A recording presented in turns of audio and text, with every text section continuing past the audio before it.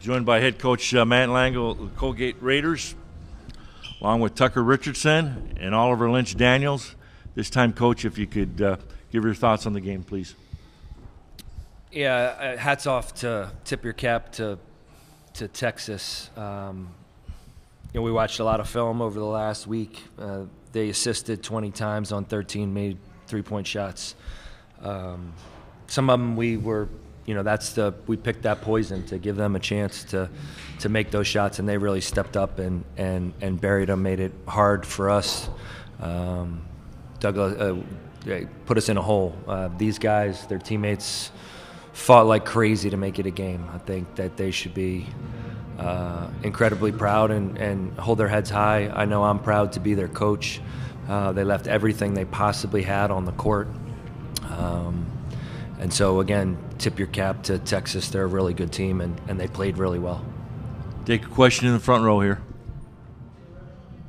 Um, if either Tucker or Oliver could answer, um, they Texas. Oh, Thomas Jones Austin American-Statesman.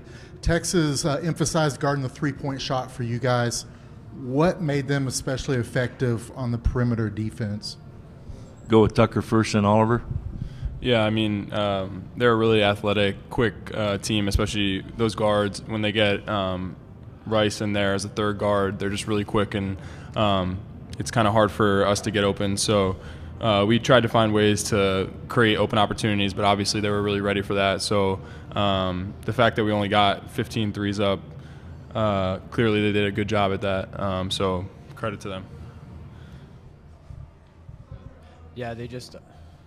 Yeah, I feel like they uh, just denied and tried to blow up a lot of our, our actions and make it really difficult. I mean, we got some some open looks at the basket, but I think their their game plan was to try and really run us off the line. So you had a lot of guys flying at you really hard. So you know we take we take good threes. We don't just shoot threes just to shoot threes. So yeah, they kind of uh, kind of took that took that away from us.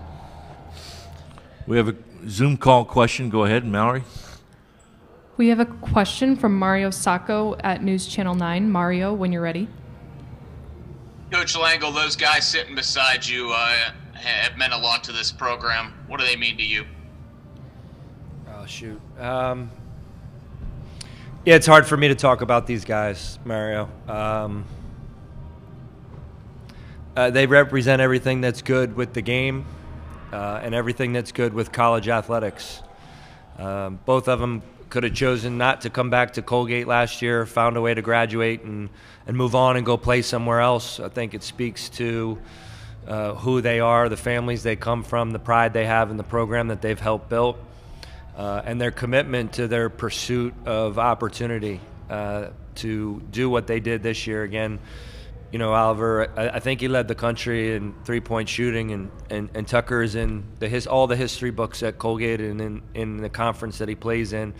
Um, and they're two of the finer human beings I've ever been around. Uh, I have a 15 year old daughter, and I hope she's a long way away from getting married, but if she ends up one day marrying a guy like this, I, I couldn't ask for anything more. And as a father, I think that's about as good a compliment as you can pay to uh, another man. Another question on Zoom? We have a question from Noah Ram at the Utica, Utica Observer. Noah, when you're ready. This is a this is a question for uh, Tucker and Oliver. I know it's hard right now in the moment. Can you guys just touch on you know what your Colgate experience was like? Obviously, you know, t- again, tough way to go out, but just what these past few years have, have meant to you guys. Start with Tucker first.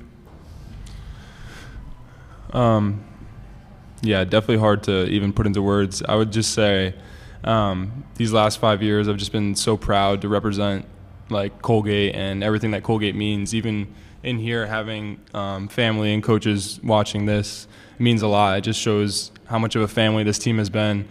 Um, and I feel like everywhere I'll go from here on, when I meet someone that went to Colgate or knows something about Colgate, I'll have a special connection with them just because of everything this place has meant to me. So, just super proud of everything, even outside of basketball. I just love being a part of this school and this program. Um, it's meant everything to me, and uh, it's hard to process the fact that it's over, obviously, but um, I'll never forget and never, uh, yeah, just never forget everything that happened here, and um, it's just been an incredible ride. Yeah, I would uh, like to just second that. It's uh, it's been an amazing experience for me. I mean, I started off elsewhere and didn't know exactly where things were going to go, and then uh, I came to Colgate, and kind of everything just just turned around. And you know, I fell in love with the team, fell in love with the coaching staff.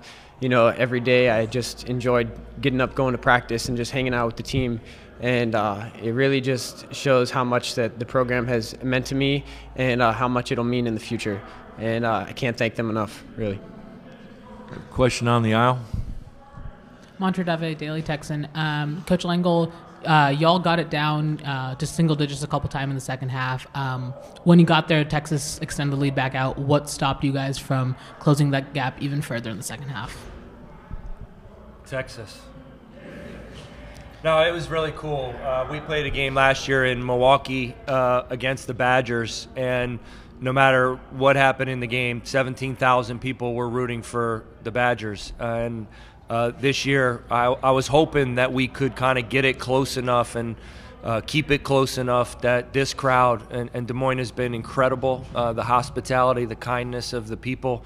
Uh, the event that they've helped put on here with the NCAA has been incredible. To have the crowd you know, chanting Colgate. Uh, I think it was a testament to the resolve of our players, their commitment, their fight, their togetherness um, to kind of keep fighting to hope that we could get it to single digits and then, you know, get it a little bit closer and make it a two possession game and just, you know, find a way like they have in so many situations um, at the end of the game. But, I mean, it, it was a different guy every time. You know, Disu made a you know, 12 foot one hand floater that he's really good at.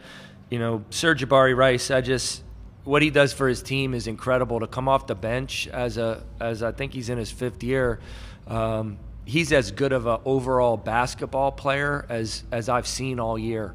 Um, his intelligence, his IQ, uh, his poise, his defense. Um, his recognition of his teammates, uh, but his ability to step up. And I mean, he made seven threes in the in the first half, and and they weren't that easy. I mean, we were we were giving them those shots, but they're off the dribble, and um, so they they were poised. They've been through a lot as a team. Again, they're veteran guys. They didn't all start at Texas. They they went there for a reason.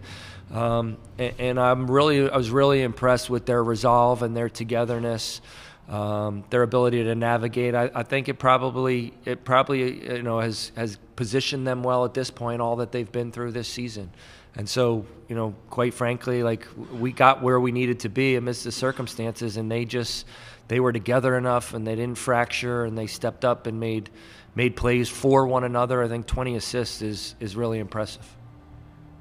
I have time for one more question. Any other questions? If not, Coach, seniors, congratulations on a great career. Thank you. Thank you. Thanks.